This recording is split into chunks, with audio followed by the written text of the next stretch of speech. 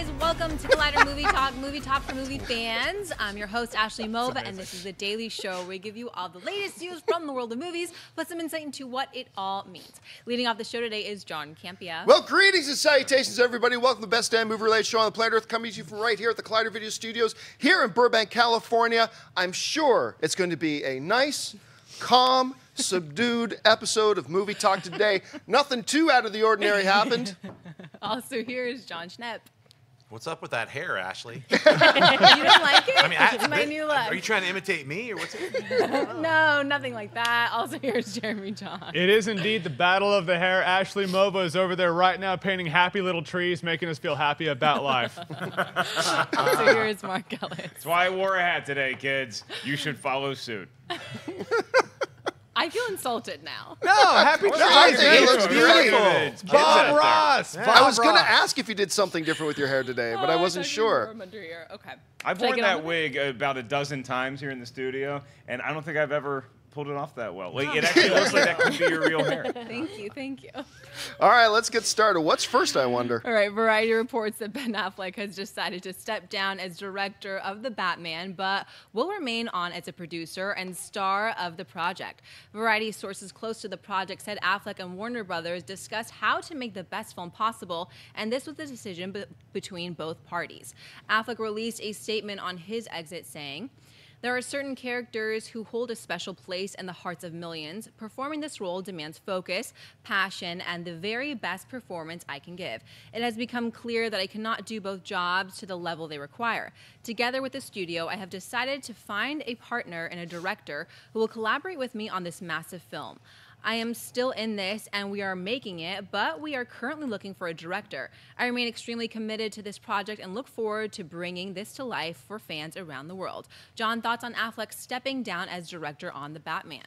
What the fuck? How the fuck do you fuck this up? There it How is. do you screw this panic button? Oh boy, It broke it. you literally. Okay, so it's gone. You broke uh, the panic button. I like seriously. How do you screw this up? You know, okay. First of all, let, let's let me put this out there first, okay? Warner Brothers is not a good. They are a magnificent studio. Just last year, all right, they put out The Accountant, which I think is one of the most underrated films of the year. They put out Sully, which was great. They put out Storks, which was a lot better than I thought it was going to be. They put out The Nice Guys. They put out Lights Out. They put out Keanu. They put out War Dogs, which I thought was another big underrated film. Make no mistake about it. Warner Brothers is a great studio. I've always enjoyed going to the premieres there. They invite a lot of us here over to their lot a lot of the times to watch early screenings. They're a terrific company that puts out some great, great films, okay? All that said, everybody's got their weakness though. Bibiani apparently is scores and soundtracks. you know, mine, mine is movie release dates. Steven Spielberg's is romantic comedy. You remember The Terminal, which I didn't think was all that good. Everybody's got their weak spot. And apparently, DC is Warner Brothers' weak spot. And you know what? All this nonsense, this is the perfect statement for them to put out. This is the perfect statement for them to put out that what Ben Affleck read. But it's all bullshit. None of that is real. None of that is true. We've know we have smelled this for weeks and weeks that something was not right. Don't tell me that it's become clear that uh, I can't do both. Really? Because just two weeks ago on Fallon, you said you were doing it no problem. It's become clear that you can't really give the performance and direct it at the same time. Really? Because besides Live by Night, the last time you did it, the movie won Best Picture at the Academy Awards. So don't don't feed me this bullshit. I understand why you're saying it, and it is the right statement to put out. Absolutely. But we have smelled this coming for a long time. Go all the way back to January 2nd, and this is what we smelled back in January 2nd. Check, check this out. If it's Warner Brothers interfering with Affleck and Johns, not good news. If it's Affleck and Johns not being able to get on the same page together, not good news. I'm telling you right now, I think there is a very real possibility that this doesn't happen. I think there's a possibility. Now, if I had to put money on it, I'd say it happens. But I'd say there's a solid 30% chance that we are not going to see Ben Affleck direct a Batman movie. I don't think you're crazy, but I. And you know what? And now they're trying to pretend, no, no, everything's fine. Everything's fine. I know we just lost three directors on that one movie and three writers from the other one, and now we just lost Affleck, and everything's fine. You know what DC films are right now? They're Jeff Goldblum in The Fly. They're the, they're the fucking Brundlefly. Oh, uh, oh, my eyelid fell off. No problem. Oh, my finger fell off. No, no, that's fine. My dick fell off. I'll just put it in a jar. Everything's fine, everybody. DC films right now are the Brundlefly of, of comic book movies right now. Everything is falling apart, and like, like it seems like every single week. We have this director left, this screenwriter left. It's a page one rewrite on The Flash. Now Ben Affleck's gone. And I'm sorry, but where there is mountains of smoke, there is fire. There is something systematically wrong in whatever division it is over at Warner Brothers, which is a magnificent studio, but there is something systematically wrong with this entire DC operation when you got things like this happening all the time. This isn't an insulated incident. This is not like it's a one time thing. Okay, yeah, one guy left, this has happened, that's gone wrong. No, no, this is a massive collection of things that keeps mounting up. I had this one guy on Twitter last night who gives me a bit of a hard time every once in a while whenever I, I, talk about my concerns about DC, just really saying, John, you're overreacting, blah, blah, blah. And I just remember this tweet last night. It was only five minutes after I heard the news. It says, he just tweeted to me, I give up. There ain't no defending this anymore. I mean, seriously, what is the problem here? What is that underlying problem? And you know, I've had I've read a lot of hopeful DC fans, and this is the thing that frustrates me a lot. Whenever Marvel fanboys would come at me and try to try to bash on the DC cinematic universe, the one ace we had up our sleeve as fans of the DC comic and movie universe is, yeah, but Affleck's directing Batman, dude. Just hold on. Affleck's directing Batman, and that is going to clear everything. That's gone. That's gone. And, and look, part of this is just I'm insanely frustrated. I am so frustrated. Do you remember, Schnepp, three years ago when they announced Ben Affleck was going to be Batman? You Right. and I hopped on YouTube Yep. five minutes after they announced it, and we were like going out of our minds. We were all pro for it. We were like, you know what? He's. I think he's going to do a really good job. and not Batman." only because of that, because we both said, because they ain't just getting Affleck to star in this Right. thing, he's going to direct He's something. write here. and direct it, And yeah. that's going to make this all work. Three years of hope, gone. And uh, it's, it's incredibly frustrating. Look, I, I'm neither a Marvel fanboy nor a DC fanboy. I am a comic book movie fanboy. Doesn't matter who's. I don't care what wh- whatever corporate overlords you serve. I don't care what corporate title is on a, on a comic book movie. I don't care if it's Fox. I don't care if it's Marvel. I don't care if it's DC. I don't care if it's Sony.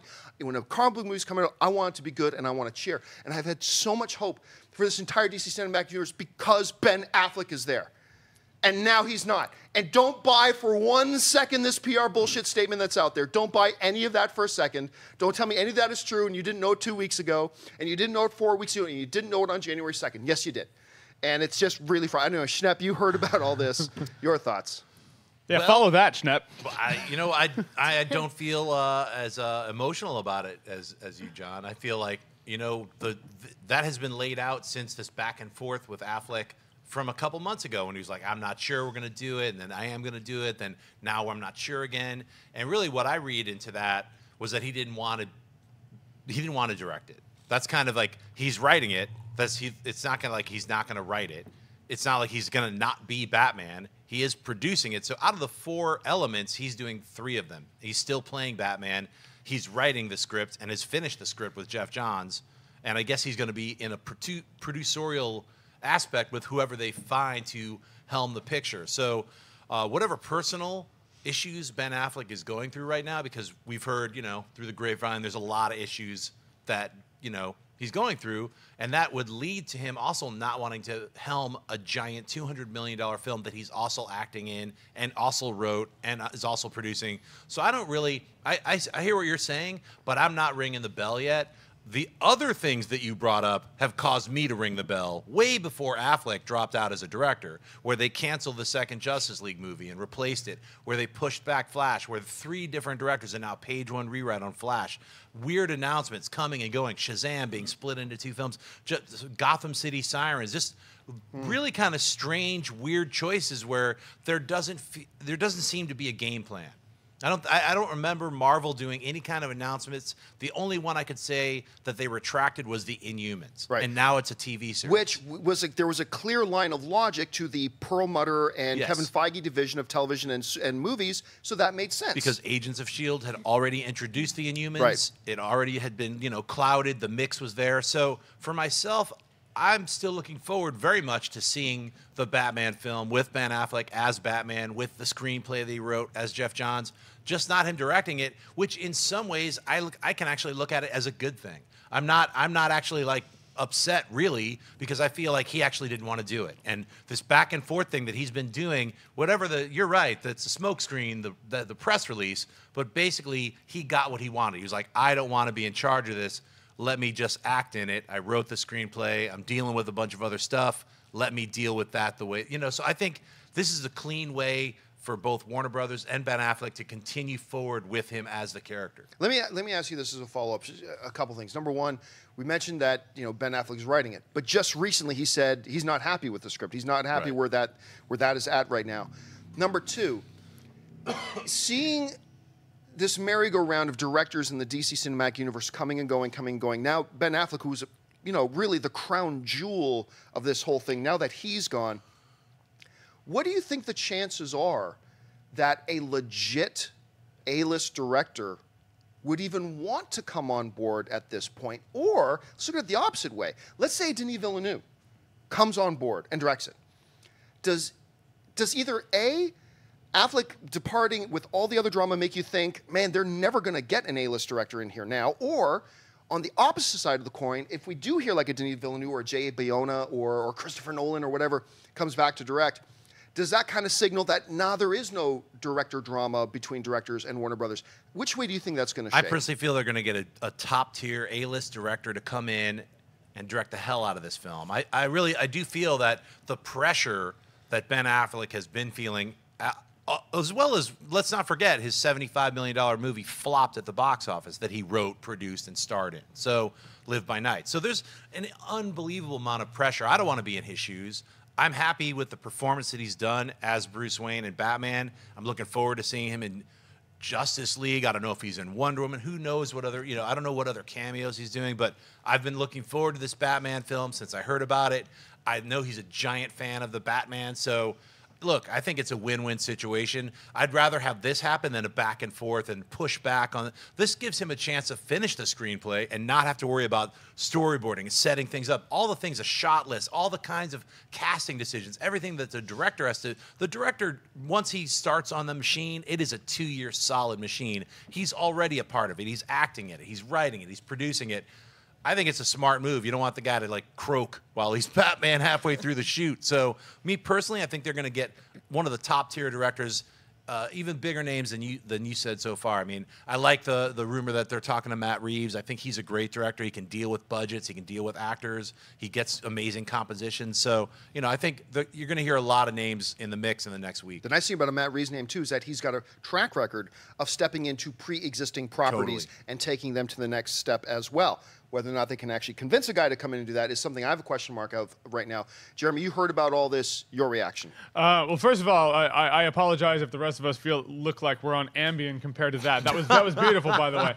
But uh, I, all right, so I, if I can project for a second, I, I feel like I know where your frustration is coming from because mine is too. Is that you and I? Uh, for different reasons in different ways, we're we're one of the many people, though probably not the majority, who are like holding the line, going, no, no, no, no, no. There's stuff to look forward to in the DC universe, guys. It's not going to suck. It's not going to suck. And that was a big ace in the hole. Was Ben Affleck directing Yeah. Batman? Now that it's not, you kind of feel like a jackass. You're like, you know, maybe you guys were right. I, I don't know. You know, at best, the films have been really divisive, so you don't have that anymore.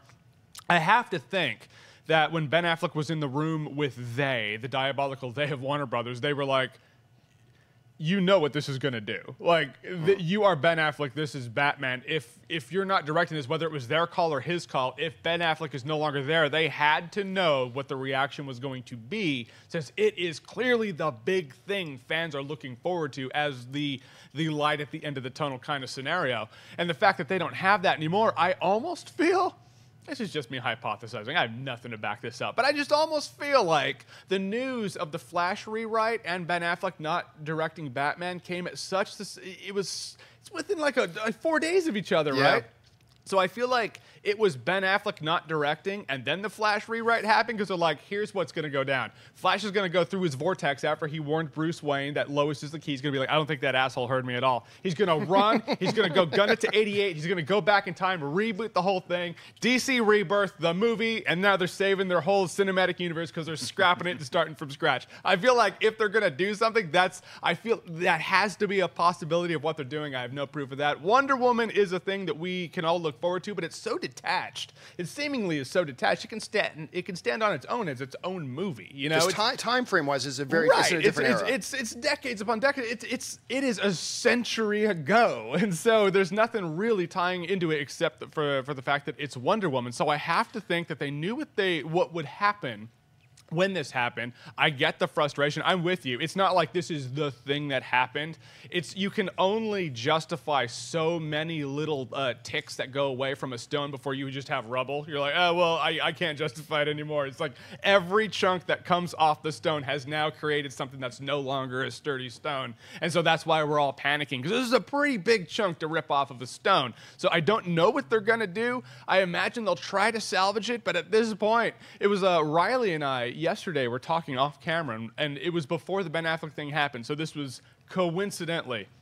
Uh, I was like, I feel like you kind of take the cinematic universes for granted. Like Marvel, we know it's going to happen. It's kind of like Denny's. You you order your food, you go to the restroom, you come back, your food's there, and you're just like, it's like I pushed a button and it happened. You know, you have faith that it's just going to happen, right?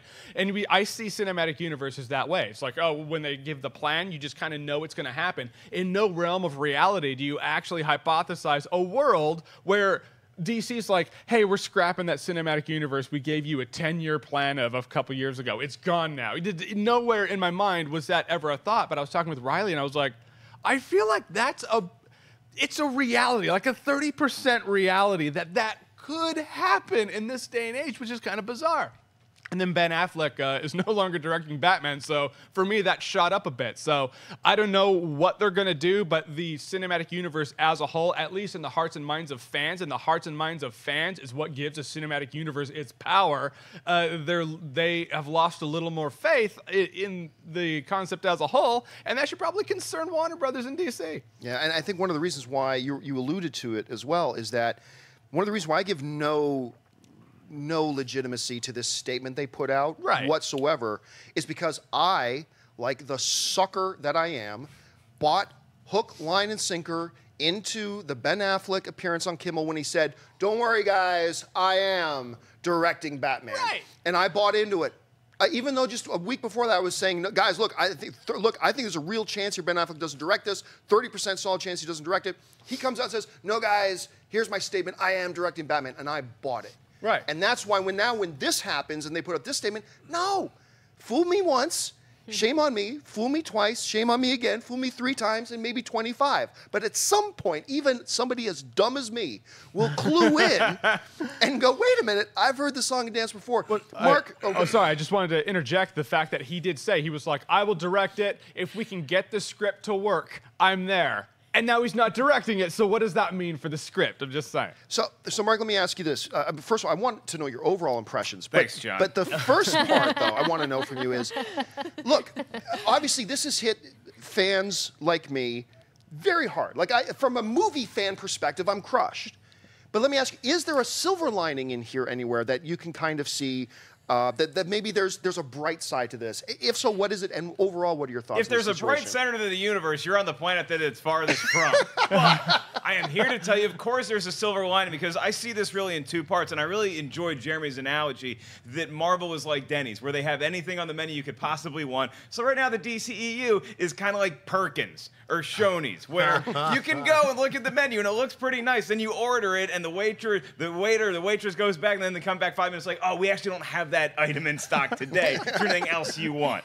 I think that there is hope for Batman. I think the Batman movie can still be great. Affleck was awesome as Batman. The fact that he is taking himself off the project from a directorial standpoint does not scare me in and of itself because there's a lot of names you could put in there that I think can do a kick ass job. The thing that scares me, which you guys have been talking about, is that this speaks to a greater problem in the DCEU. And whether it was Affleck's problem with working with this particular company or under this flagship, it remains to be seen because don't forget that Ben Affleck is in a very different position than every other director that has departed a DC project. Ben Affleck is one of the most famous human beings on the face of the planet. So he has a lot more pressure than anybody else does, whether he's in front of or behind a camera. So we don't know. And it's really unfair of us to speculate ad nauseum as to exactly why he did not want to be directing this film. Maybe it's something that has to do with DCU. Maybe it's something personal. Maybe it's a mix, match of the two. What scares me is that this has happened a lot before. And it almost seems like working at DC right now, if you're a director, feels like you're Peter in office space, where you're just sick of 19 different bosses coming up to you and saying, Did you get that memo? It's like, just let me make my movie. And Here's eventually a- he's going to take the printer out into the field and That's right. and That's bash it in, right. yeah. Here's the thing that, that really bugs me is that it, I saw this news and I was like, okay, well, it sucks. I try to handle everything like a coach, okay? So, okay, well, this player got injured. All right, not going to worry about it. Next man up, next woman up. Michelle MacLaren would have been great for Batman. Okay, Rick Famuyiwa would have been great for Batman. Yeah. They've already been on DC projects and said, "Nah, we don't want to do this anymore." Antoine Fuqua was another name that I'm like, "Ooh, I wonder if he's available." He just dropped out of a project, so maybe you can get him. Matt Reeves is a very appealing choice. I I think getting an A-list director is paramount to this not being the end of times for the DCEU. Now, it might not save it, and the most unfair thing in this whole kaleidoscope of crap is that it puts an unfair amount of pressure on Wonder Woman and on Justice League to salvage everything. Because when they were making Wonder Woman, they weren't like, oh, we're going to have all this stuff in the press. They were under the assumption that Ben Affleck was directing the Batman and that Zack Snyder was going to right the ship with Justice League. Now, what if none of those things happen? That puts so much pressure on Wonder Woman to be the greatest movie of all time when we just want to see a good movie from the DCU. And I don't know if that would be enough anymore. Let me ask you guys a question uh, and put this out there. To use a sports analogy, hold, keep up with me here, Schnepp, for a second. There are some times, whether it's in college sports and professional sports, most of the time, you know, you need a new coach, and you just go out and you get the best coach you can, and everybody's good. But there are some situations where a particular team will be in a particular set of circumstances where they lose a coach, and the, the sports pundits will say they need to go out and get a major headline star coach to come in. Is it fair to say at this point, now as we start moving from the train wreck of what just happened to now looking forward, is it fair to say at this point that unlike say a Wonder Woman movie, which is a new property, they went out and got an incredible talent, even though a lot of people didn't know the name Patty Jenkins, which is fine. Is it fair to say, or is it unfair to say at this point, Warner Brothers needs to have a news headline grabbing director that they bring in now for Batman, or can they afford to bring in a talented prospect who's worked on music videos before? Where do you think they Well, are the, right now? the, the problem is, is that when I said that, I think that's how DC is feeling right now. Right. Is that they're all scrambling, saying we need to bring in an A-list. but what which- do you feel? No, you don't. You need to bring in the right person Yeah. for the job. Like you don't need. I I, th- I think sometimes that can be damaging, and it clearly it has been to whatever the brain trust thinks is the right direction for this franchise in the future. It's because you bring in these A-listers. What do A-listers do? They bring a lot of talent, a lot of ability. They also bring some ego. They also bring, hey, I'm better at this than anybody else, which is what made them great directors in the first place. What you really need is somebody who can step in and work with the team because it's it Ben Affleck doesn't want to direct any. It's clear that the DCEU is not going to veer from the course that they have set for themselves. So you need somebody that can come in and play ball the best they can, and you have to ride that to its to whatever end it's going to be. We don't know how good that end is going to be, but you need somebody that can come in, give somebody who is lesser known a shot. You know, I- I- it's not going to be the worst thing in the world. You have enough headliners going for this movie already that you just need somebody to come in and right the ship. They don't have to be the most famous. let me let me say there. this. I think I think that I'm not worried. Actually, the more I even think about it, the less I'm worried about it. I think it's a good decision that Ben Affleck's not Mm-hmm. directing it, because if he quit Batman, if he's like I'm not going to be Batman, then I would really seriously be in the same boat with, as what you're saying, Jeremy. It's like they might as well just pull the plug on the entire thing. They just they just wasted all these movies establishing Bruce Wayne and Batman v Superman, and then he's in Suicide Squad, and he's they just established he's also in Wonder Woman. So it's a, you're establishing this character, and then he's in Justice League, and now he's not going to play Batman in the Batman film. That would ruin it. That he's writing it and producing it and starring in it as Batman. That's all I really am concerned about. I know he's a Batman fan. I know that he's writing it, so he's going to get an amazing Batman story.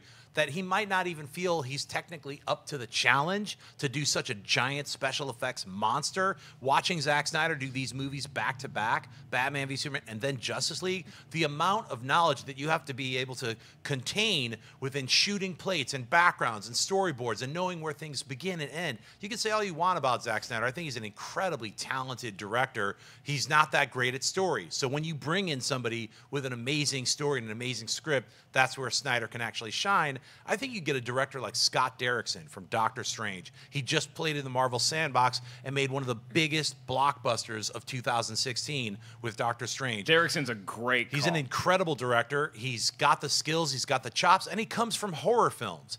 Batman is a horror superhero. He's a dark creature. All of his villains are freaky monsters. I would love to see someone, if not Scott Derrickson, some pick from the horror genre would I think hold that mantle high and be able to add that kind of flavor and cinematic value that we need, and also be able to tell the story with Ben Affleck. Fede So- Alvarez, another name where it's Fede like somebody who yeah. comes from the horror Yeah. world who is, who's a rising star. You can get somebody on the way up. You can pick somebody that is not them. You don't need Steven Spielberg to rectify this project. As a matter of fact, I think a huge name coming in might actually bring more unwanted attention Hmm. to the Batman. Yeah, as a fan of the Mighty Ducks, Moneyball, uh, you don't need the biggest person, you need the right one. Yeah. there you go. Movie references, Schnepp. That's how we pull it down I on love course. But Nice one thing to keep in mind too, one like of the that. games that Warner Brothers has been playing and playing very, very, very well, especially this past summer, was Warner Brothers went into the mode of changing the narrative. So they had they just came off of a, a struggling Batman v Superman, struggling to get the, the fan approval, the critic approval, like that, struggling with the Suicide Squad. But what they did then, come Comic Con, was they changed the narrative. They put out that Wonder Woman trailer. They put out a very, very, very early Justice League trailer. And what they did masterfully was change the conversation from the, the kind of a letdown that the DCU had been up till that point to look how bright the future is.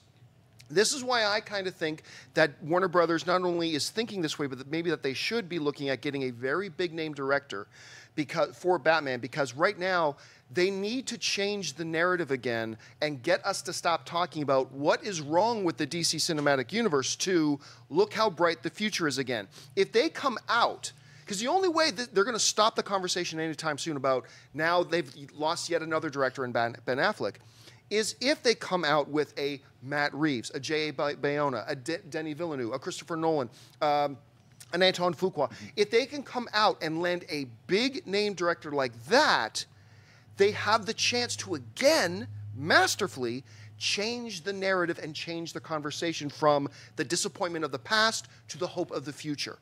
And I think that is something they have to be very aware of. The PR game right now for Warner Brothers and DC is incredibly important.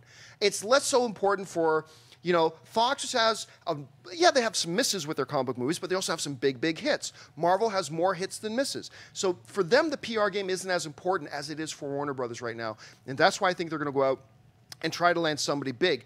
And when they do, when they drive that dump truck full of money up to some director's house, because I believe there is a fundamental problem between Warner Brothers and the directors right now. I don't think there's going to be a lot of A-list directors that want to sign up for this now. But if they do, we can start looking to the future again instead of to the disappointment of the past. Okay, guys, with that out of we are going to sail through a lot of these next few topics. Uh, Right. obviously, this, this was a topic that deserved, but listen, most importantly, guys, jump into the comments section. What do you think about this news? Are you more, say, like me, very emotional, hurt as a fan, just as, as a movie fan, contextualize that, uh, kind of devastated that I felt like I was misled and I felt like I've had the rug pulled out from under me as somebody who's been championing and cheering for this Batman film? Are you somebody who does see this as you know, maybe there's some truth and validity to the statement. Maybe this is a good thing that uh, they're going to get somebody else to direct us. Maybe this will work out for the best. Let us know how you feel about it in the comments section. No right or wrong opinions here. Just let us know your thoughts and give your perspective on it. We want to know what you think. Okay, with that out of the way, let's move on finally to the next story. Ashley. There has been plenty of movement on James Cameron's Avatar franchise, with a number of start and stop dates, as well as a number of reports that stated the movie would have two sequels, then four, and then five. But now we finally have a real update thanks to director James Cameron himself. Cameron spoke to the Daily Beast this weekend to give an update on his Avatar sequels and said, The thing is, my focus isn't on Avatar 2. My focus is on Avatar 2, 3, 4, and 5 equally. That's exactly how I'm approaching it. They've all been developed equally. I've just finished the script Avatar 5. I'm now starting the process of active prep. I'll be working with the actors in the capture volume in August, so I'm booked in production every day between now and then. Jeremy, thoughts on Cameron's comments about his Avatar franchise? That's crazy. I thought, for some naive reason, I thought they were farther along than this.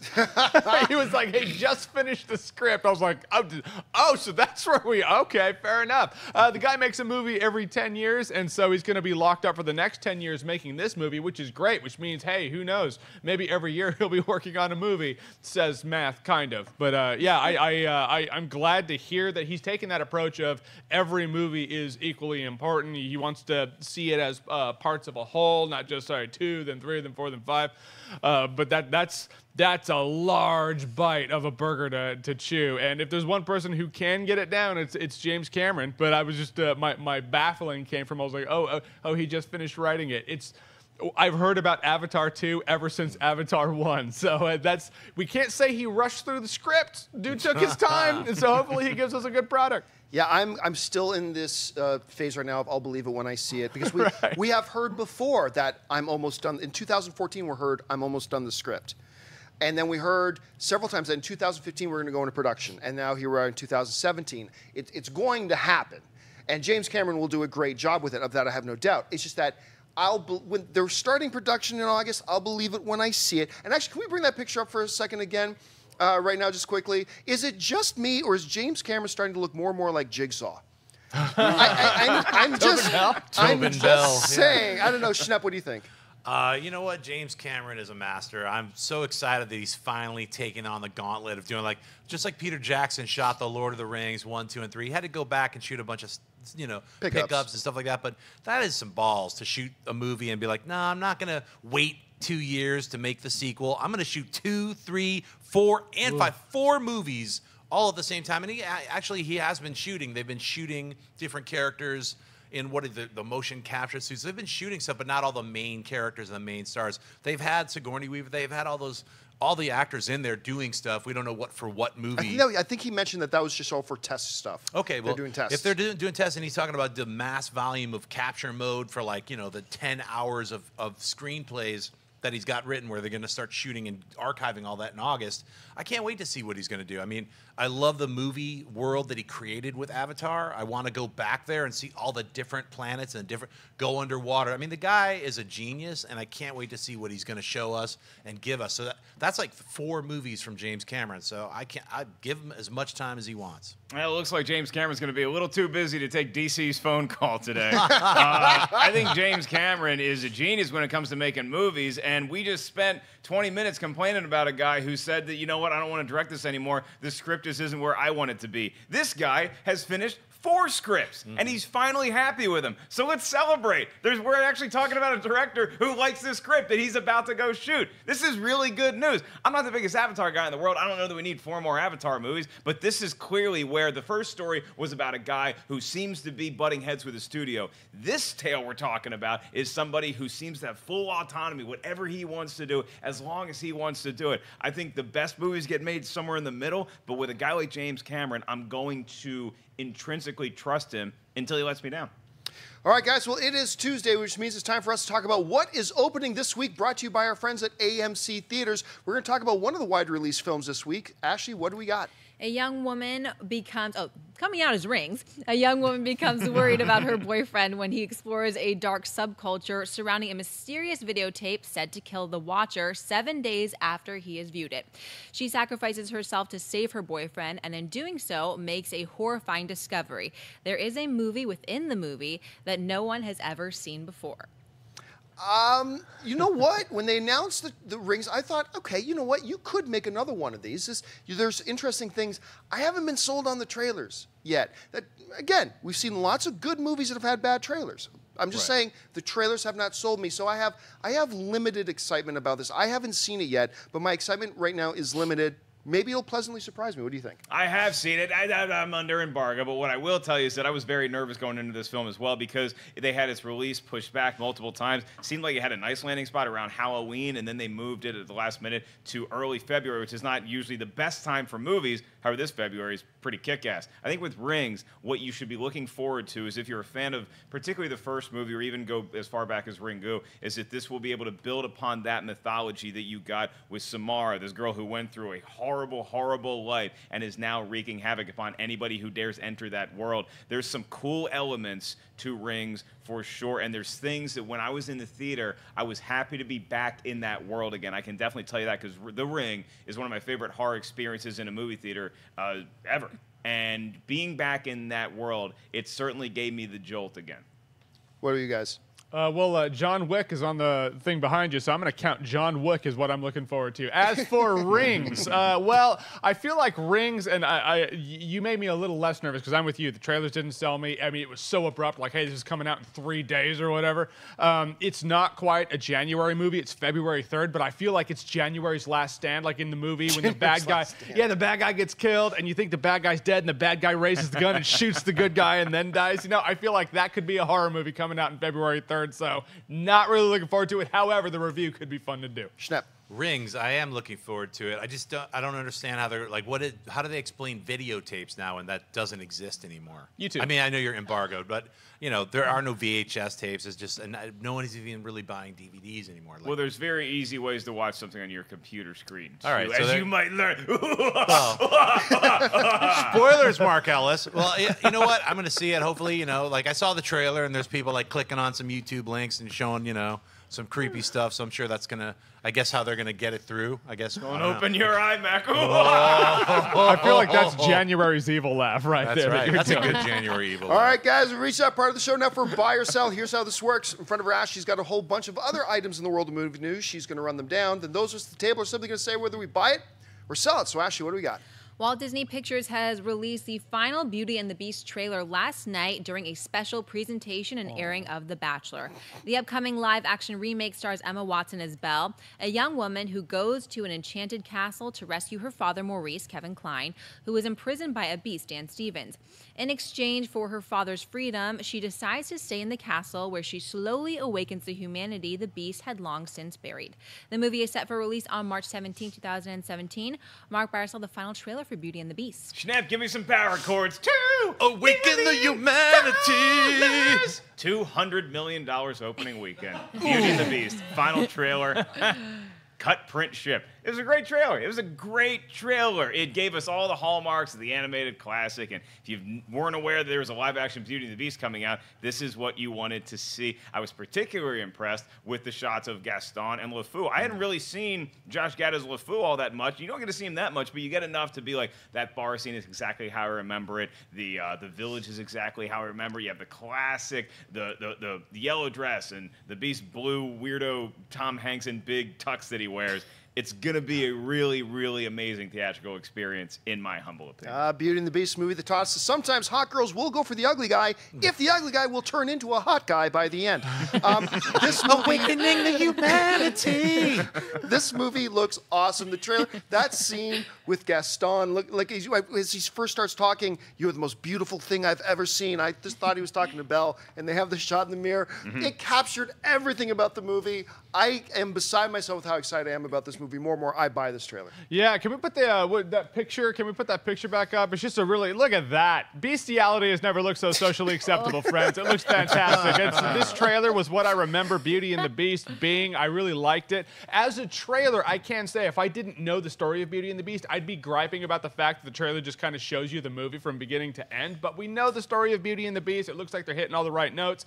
They know what they're doing, and uh, I'm not gonna lie, I was humming the song. Schnepp. Awakening the humanity. I'd buy this trailer. I, I, you know what? I mean, I'm not even the biggest Beauty and the Beast fan. I like the original Cocteau version, you know, the 1930s one. But he kind of looks like that, and it's like a weird, demented cat. So I can't wait to see this movie. I, uh, like Ashley, what about you? Are you like? Did you like the trailer? Um, yeah, the trailer was great. Even getting to see um, Josh Gad and Luke Evans kind of narrate the whole Bachelor episode last night, and it was it was hilarious to watch that. The trailer, seeing Gaston, made me laugh so hard. But it's definitely darker than the Beauty and the Beast I knew as a kid. Like, I, if I had kids, I probably wouldn't take them to see this. It kind of looks very scary. But when I heard Ariana Grande come in and say "Taylor's on his time," I was like, "Yes, girl, I love it." So I'm into that. what about you, Wendy? I 100% loved everything about the trailer. I did think like why are they showing the entire movie in the trailer?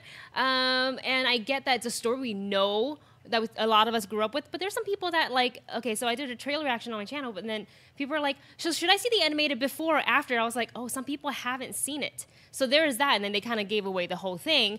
Um, but aside from that, I buy. Oh, wait, one more. Ewan McGregor's voice, not with it. Sorry. But he's Obi I just I, did- I, I kind of like it. I kind of like his voice in it, but You look, did that yourself. Yeah, the answer to the question, should you see the animated film, is absolutely yes. Go go out and watch the animated film, uh, 100%. And I'm, I don't know, man. I'm starting to maybe buy into this 200 million Whoa. opening weekend thing. 200 million dollars. I don't know. You might be there. All right, what's next? Summit and Lionsgate have been trying to get a Highlander remake off the ground for years, and they finally pulled the trigger by hiring John Wick co director Chad Stahelski to develop and direct the reboot. Collider's own Steve Weintraub recently sat down with Stahelski to chat about John Wick Chapter 2 when Stahelski revealed that while the movie is still in development, it's a massive priority for Lionsgate and Summit, one that Stahelski believes should be told in a trilogy a la Star Wars. The first one was a very satisfying ending, but it does leave the door open, and that's kind of how I see this. I would really like to expand it over three. I see the gathering happening over three. It's tricky, don't get me wrong, that's why we're still developing it. We want to be able to tell three complete stories that all kind of fit. I think the Star Wars trilogy, at least up to The Empire Strikes Back, is a good example of how we want to process it. Hey. Schnepp, buy or sell a Highlander trilogy in the vein of Star Wars. there can be only three. Um, you know what? I am immortal. I was just like hearing that Queen song. I am immortal. so I can't help but uh, sing today. I don't know why, but uh, you know what? Yeah, I look forward to a new version of the Highlander. I, I like what he's talking about. I'm buying everything he's talking about. I can't wait to see it. Yeah, I was on board with it until he gave a backhanded snub to Return of the Jedi. Blow it out your ass. No, I buy it. Here we are, born to be kings. Anyway, I, uh, I buy it. Look, I buy it. I, look, I'm a little bit nervous about this whole idea of doing three because we've seen other film, film franchises start with what they thought were going to be trilogies, they have a swing and a miss at first. So I'm, I'm a little bit nervous about that. Like, make one and make it good, and then make the hunger for more. But overall, I buy it. Yeah, I'm a little apprehensive. Someone goes into a trilogy, calling it a trilogy, hoping it's a trilogy when it might not be a trilogy. But this is OG. When I was on Movie Talk before, it was Collider Movie Talk with Campea. He asked me. He, the question was, "What's something that should get a remake?" My answer was Highlander. So I really hope this pays off because a good Highlander movie uh, after the first one would be fantastic. All right, what's next? Deadline reports that Mel Gibson's Hollywood comeback is now complete. While recently securing a Best Director nomination for his work on Hacksaw Ridge, Gibson will also make a splashy return in front of the camera, with Paramount officially offering him a starring role alongside Will Ferrell and Mark Wahlberg in Daddy's Home 2. John Lithgow has also had an offer to join the cast. Daddy's Home 2 will see two types of father figures the strong alpha male and the sensitive, caring type who go head to head, but this time it will include an older generation. If the offers are accepted, Gibson and Lithgow would be playing the older generation. John Barisell, Mel Gibson, and Daddy's Home too.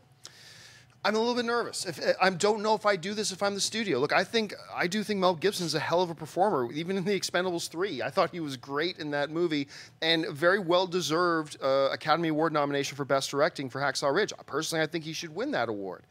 If I'm the studio executive, though, I don't know if I put him in that movie yet. I don't know if the at least public perception comeback of Mel Gibson is at that point yet. I think that look, he's done a lot to rehabilitate his image and stuff like that, and that's great. Good on him. But if I'm a studio executive right now, I don't know if the public is ready to embrace a movie with him in a starring role quite yet.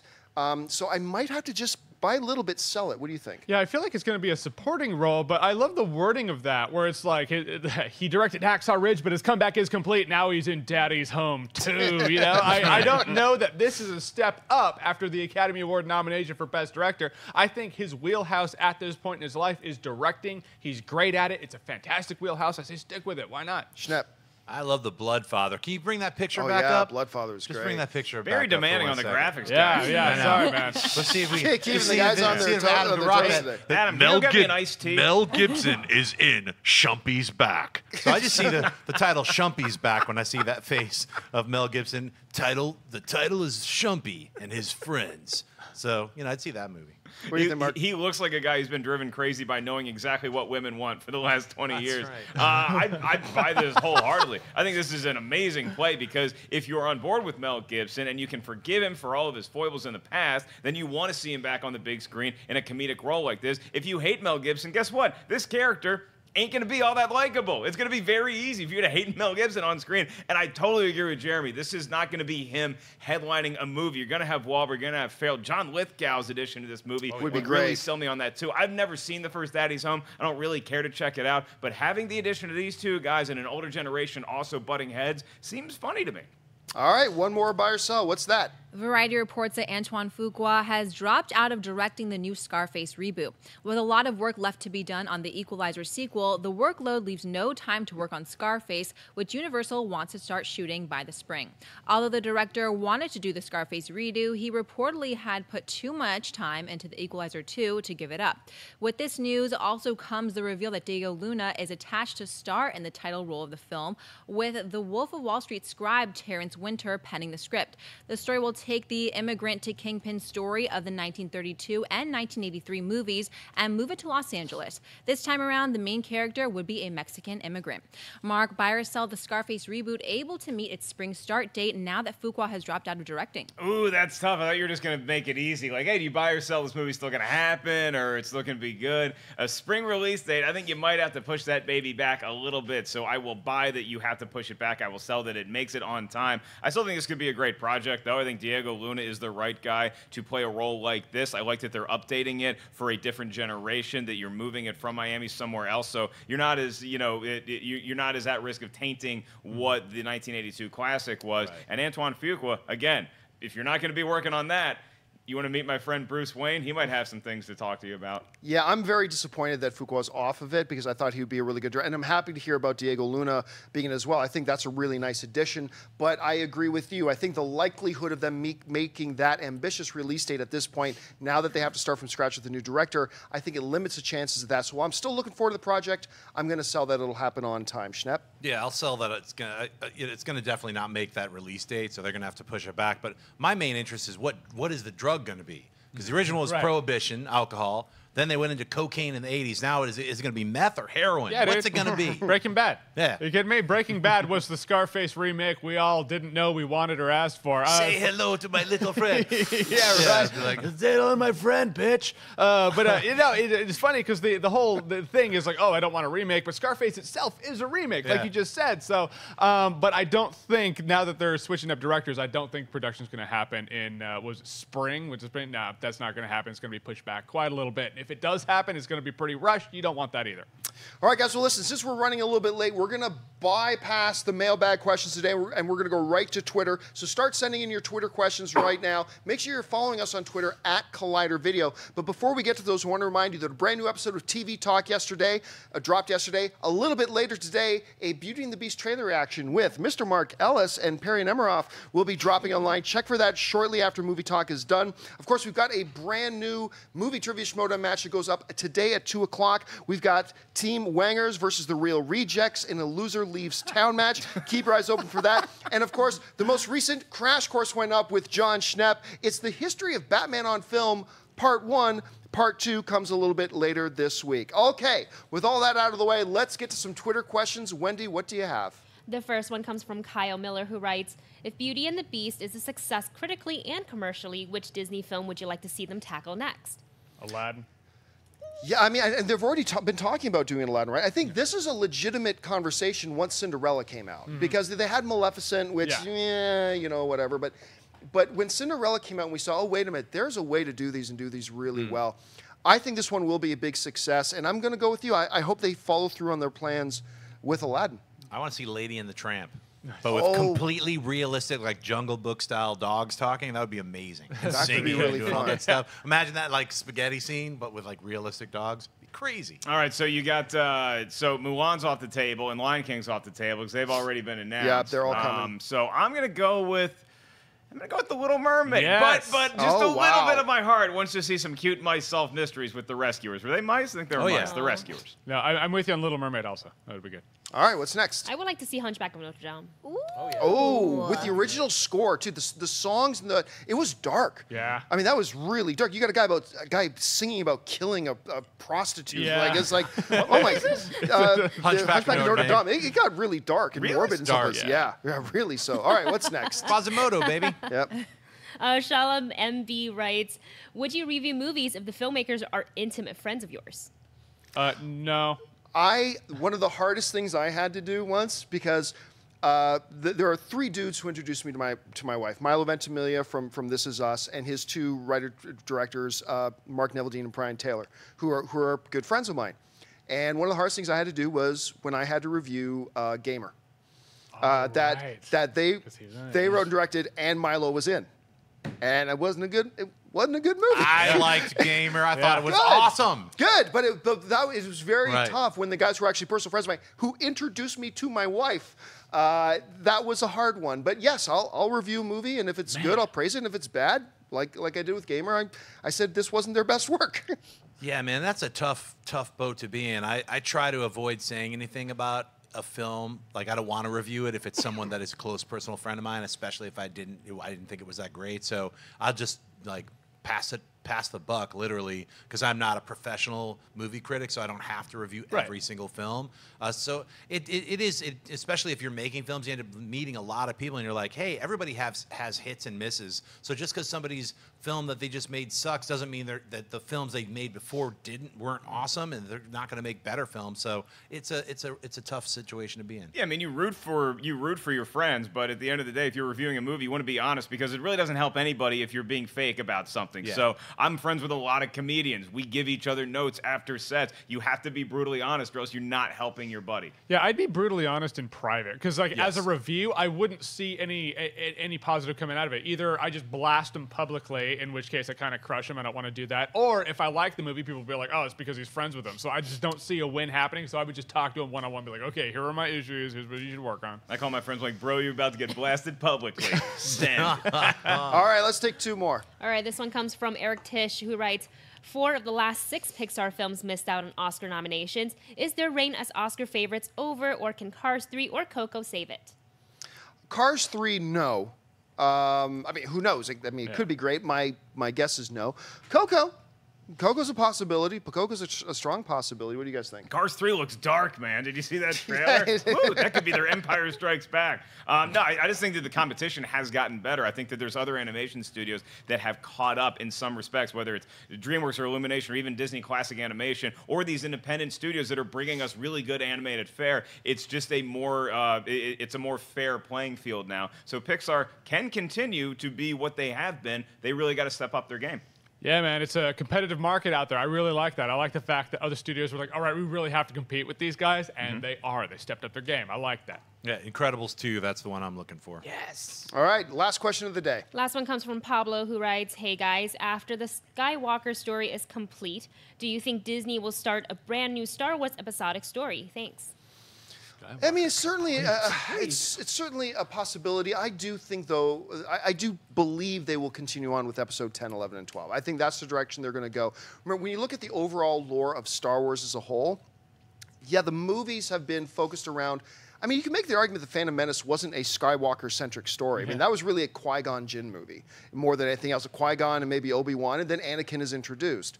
When you look at the the film series as a whole, yes, the Skywalker family is center and core. But when you look at the overall Star Wars scope, you're talking thousands of years previous to when the first Skywalker showed up of, of history and lore and stuff like that. So I believe they can now continue on without the Skywalker family. But who's to say all the Skywalkers are going to be gone? Look, we already know there's at least one Skywalker still around. That's Kylo Ren. He's a Skywalker. He is Anakin Skywalker direct um, heir, if, if you will. So maybe there's one or two more kicking around. We don't know. But I, I think they can move on without the Skywalkers. What do you think? Uh, I, I think the mouse likes money, like I like queso dip and Coors Light. Yes, you're going to get more episodic movies, regardless whether they involve Skywalkers or not. But I don't want to see it as Skywalker. I would love to see Disney make that tough call of being like, the Skywalkers are done, it's over. It would just show guts. Every, if we had a Skywalker for every episodic movie, I would just be like, oh, of course we do, because you have to do that. And I know a Skywalker will always live through the next one. I just wouldn't want that. I would want to see risks taken. What do you think, Schnepp? It's always going to be Skywalkers. That's my, how I feel about it. It was a Skywalker trilogy, four, five, and six. They, they dealt with Skywalker's ori- origin, Anakin Skywalker, one, two, and three. Seven, eight, nine is going to deal with Skywalker's, Luke, and who knows who the other Skywalkers, like you said, Kylo Ren. And if they get through that and there's still survivors, which I think there will be, 10, 11, and 12 will probably jump 30 years and we'll see an entire new family of Skywalkers. So I think hmm. the core Star Wars will always be about the Skywalker uh, story, but all the other stories that they're going to be expanding on, you're going to see not just Han Solo, but I'm sure you're going to see a ton of other character movies, and then they're going to start to really develop once they get into like the Old Republic. That'll be its own trilogy. You know, I gotta say, the Star Wars universe is in real need of a technological revolution. It's the same tech for thousands of years. Nothing advances ever. It freaks me out. They need a genius over there. Except design. Design is l- they, they, they, they sleek up the We design. were using horses for a couple thousand years too. I mean, you Yeah, maybe Star Wars invents the internet in episode 10. We'll Right. see. That's Yeah. what I'm saying. All right, guys, that'll do it for this installment of Movie Talk. Thank you so much for joining us. Listen, don't forget the most important part of the show is what you have to say. Jump into the comments section and leave your thoughts on any or all the topics that we discussed here today. I want to thank the guys sitting at the table with me. First of all, sitting over there, Mr. Jon Schnepp. Schnepp, where can people find you online? You can find me on Twitter and Instagram, just at Jon Schnepp. Later today, Collider Heroes is popping up. I believe we're going to be live at 2.30, so check it out. That's 2:30 Pacific Standard Time, right. 5:30 Eastern Standard Time. Mr. Jeremy Jahns. Uh, you can find me at Jeremy Jahns on YouTube and Twitter, and pretty much re- the rest of the internet in and of itself. And you can find me on my Collider Go uh, Collider. Let me start that over. Brah, Verizon Go 90 show, awesome tacular, where we we we talk movies, games. We have a lot of fun stuff coming at you. It's uh, we're gonna turn it on its head, folks. It's gonna be fun. New episode drops this Friday. Over sir. here, Mr. Mark Ellis. Uh, in Southern California, the next couple weekends at the Comedy Store this weekend, the Ice House in Pasadena next weekend, and this Wednesday, the Schmoes Know live show at its new day and time, 7 p.m. PST. See y'all there. Sitting over there at that table, we got Ashley Mova. Ashley with a different hairstyle than when we started the show.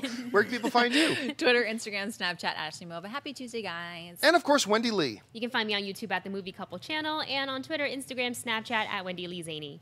And you guys can simply follow me on social media on Twitter or on Facebook, just at John Campea. That'll do it for us, guys. Thanks so much for joining us, and until next time, bye bye. Hey guys, if you like this video, click the thumbs up button. Also, make sure you subscribe to our YouTube channel. It'll help you stay up to date with everything we've got going on here at Collider.